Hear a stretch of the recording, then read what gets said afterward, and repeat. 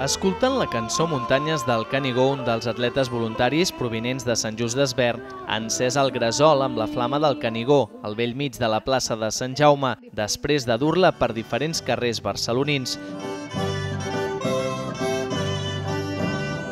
Tot seguit l'Àliga i els gegants de la ciutat, Violant d'Hongria i Jaume I, han ballat en honor a aquesta tradició pròpia de la Mediterrània.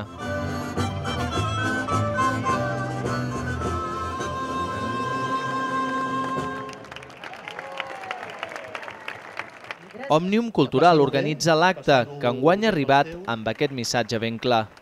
La flama ens ha de servir per cremar tot allò que ens fa nosa i per il·luminar les nostres esperances i les nostres il·lusions. La flama servirà per encendre les fogueres escampades pels barris de la capital catalana i d'altres ciutats.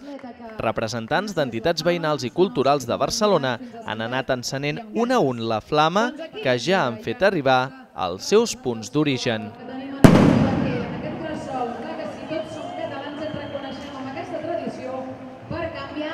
el món.